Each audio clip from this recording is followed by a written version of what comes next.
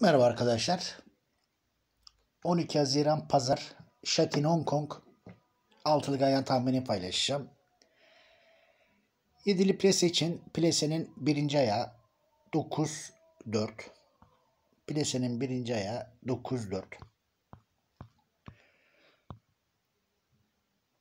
Altılı ganyan tahminim şu şekildedir. Birinci ayak 4 2 1 5 12 İkinci ayak 8 9 5 11 2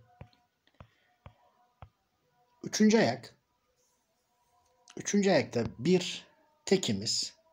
Üçüncü ayakta bir tekimiz Dördüncü ayak.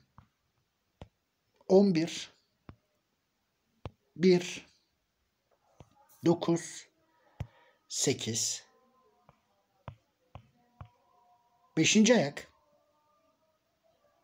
5 1 3 2 8